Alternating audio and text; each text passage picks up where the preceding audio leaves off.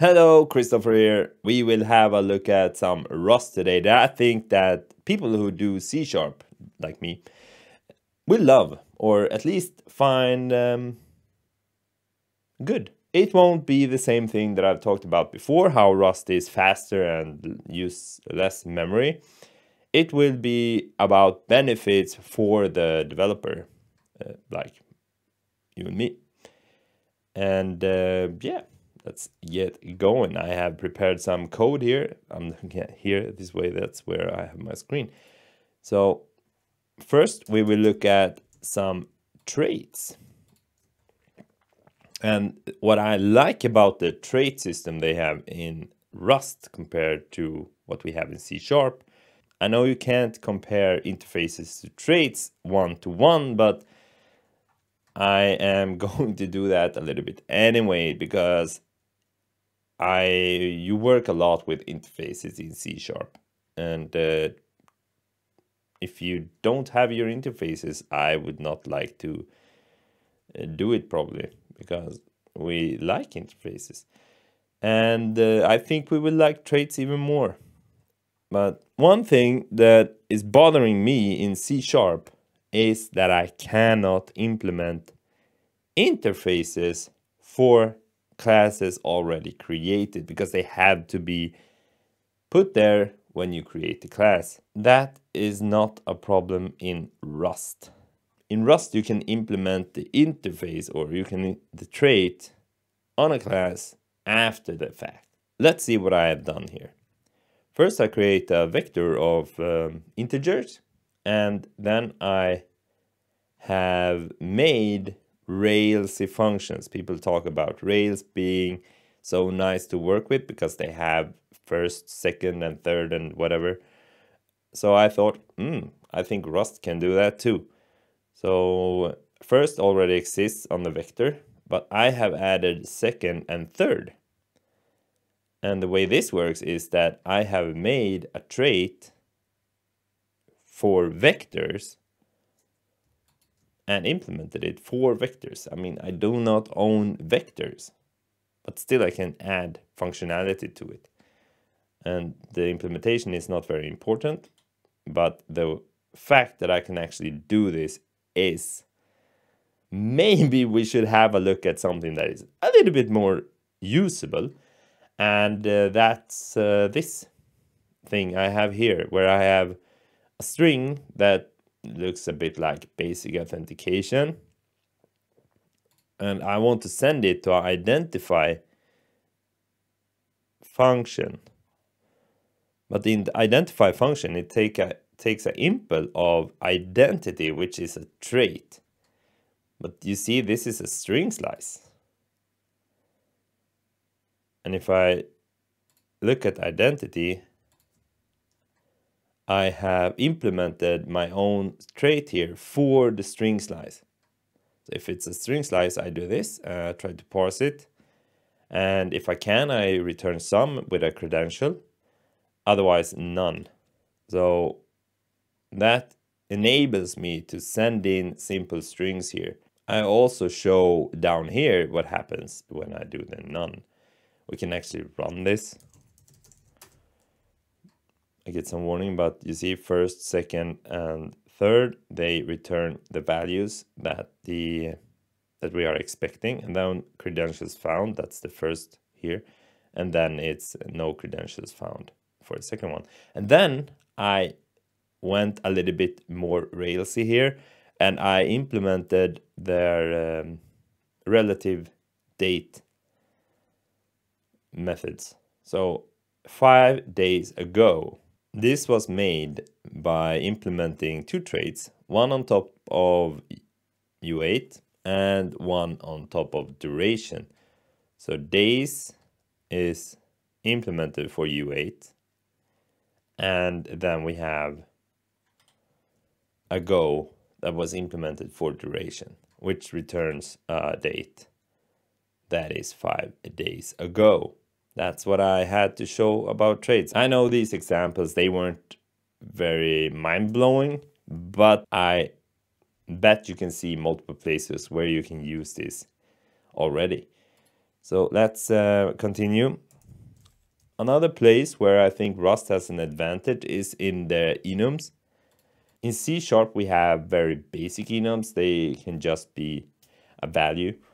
But in Rust, you can actually attach data to these enums, which means if we look at this current user here, it can be anonymous or a user, and then I just put type user to show that I can put a type uh, my own struct in here. So if it's anonymous, it doesn't contain anything more than the fact that it's uh, anonymous.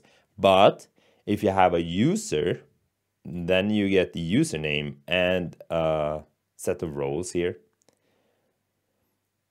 Or if it's a type user, you get the same data, but now it's uh, in a struct instead.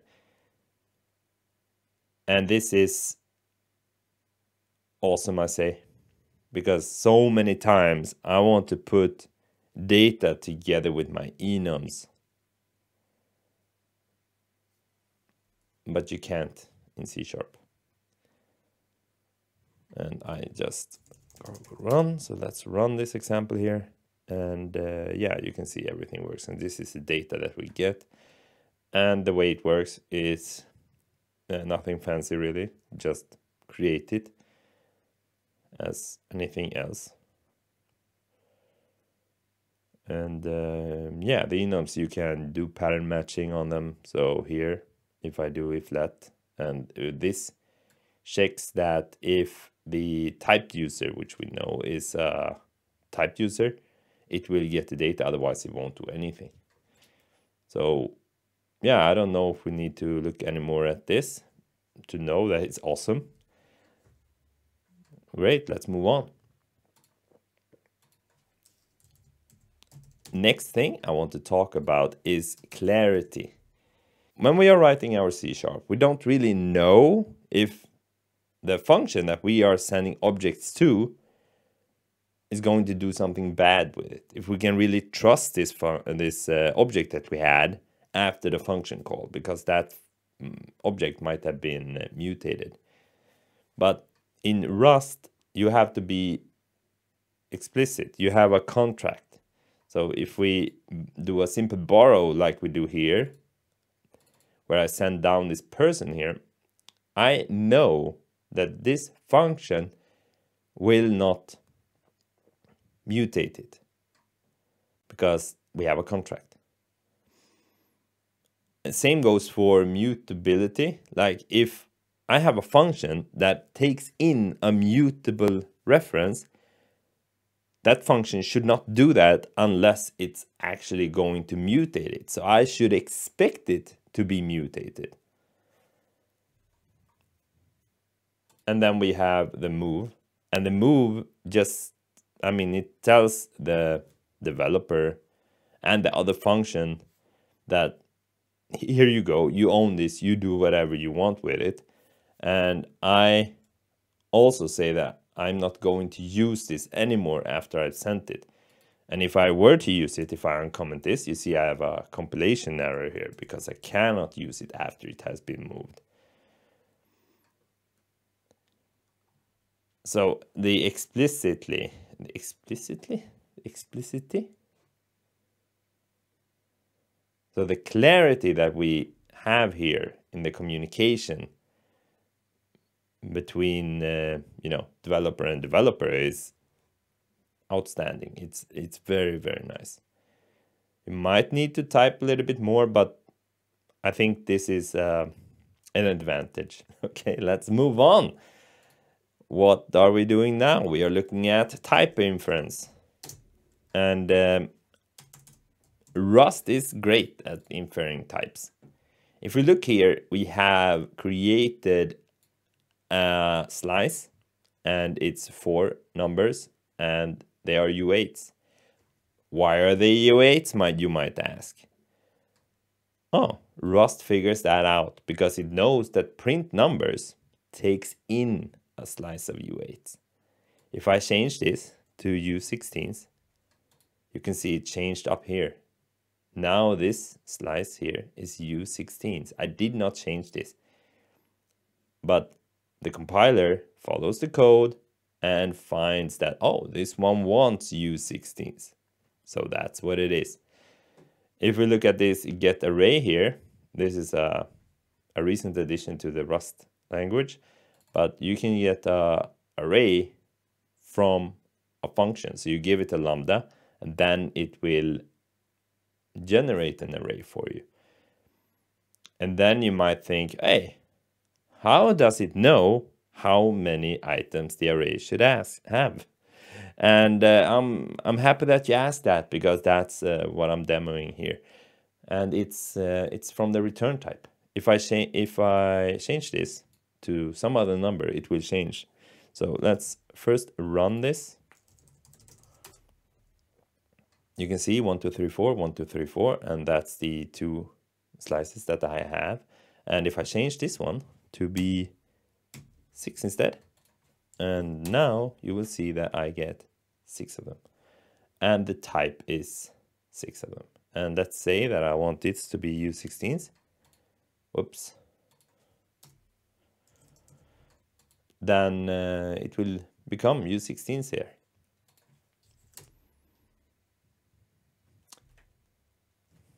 Magic what can I say? And I didn't show it here, but if you do collect, it's uh, something you can do on iterators. You can do maps and stuff like you do select in C sharp. Um, in C sharp, you do to dictionary, to list, to whatever.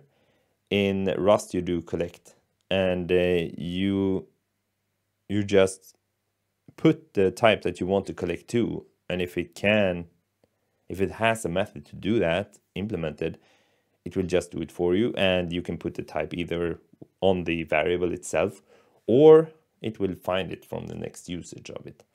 So whatever style you want to use, it will just do that. I, I like that it's so smart here and uh, the types they are printed out here. So that's another great thing about Rust. And now let's have a look at one last thing, and that is object construction.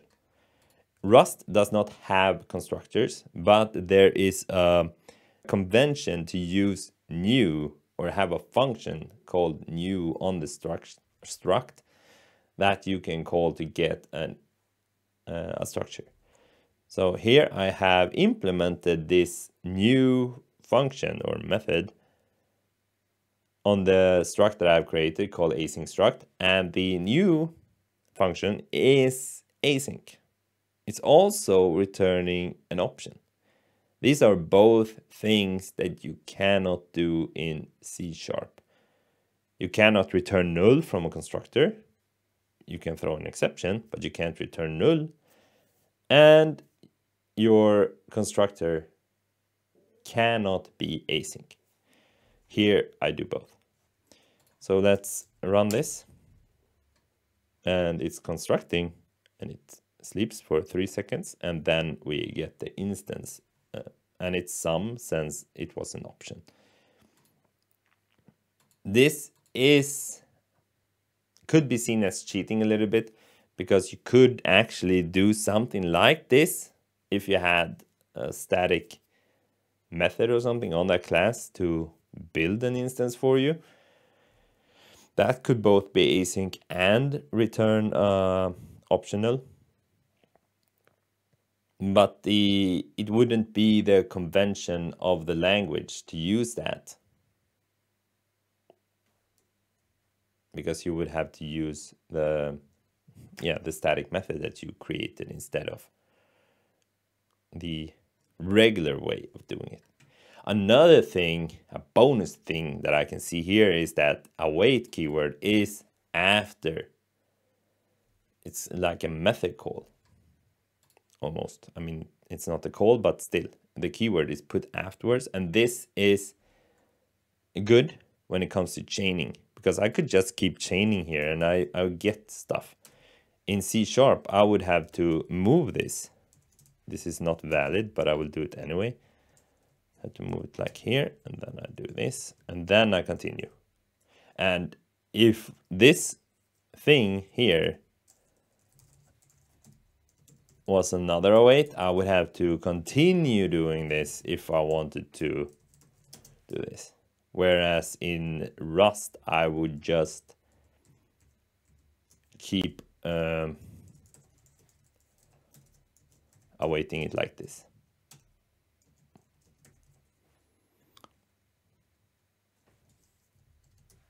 Bonus. Great. Now we have uh, looked at some things. I might as well say this too, because it was also not mentioned, but the imports are explicit and this is really nice when it comes to code reviews or other situations where you're not in your editor and you cannot control click on something to know where it came from. Because I do a lot of code reviews at my job and um, then I sometimes don't know where a class came from if the developer was responsible for how that class is working or behaving I I would I had to go and dig deeper to find out where it came from. All I see is the namespaces that were imported. But that gets even worse when we have the global imports in C Sharp. In Rust, it's more explicit. I mean, you can put in use module star to get uh, everything from that module, but it's it's not commonly used, only in preludes. But um, yeah, so you, you usually are very explicit, and this is great when you're browsing code like on GitHub or something, and you want to want like check where did this come from. You just scroll up and you see, oh, it's from this module. A JavaScript does this also very well. But C sharp, mm, namespace and you get everything and now they are even hiding it. So that's it. Um, if you are already doing rust and you feel that i missed something that should have been brought up here feel free to leave it in the comments. Or if it's the other way around like oh i really like this in c sharp but uh, it's not that great in rust. Then i would be happy if you put a comment about that too because it's very interesting just to see what does people like and what do they not like. This is the things that i like that i as a c sharp developer like. So thanks for watching. Bye bye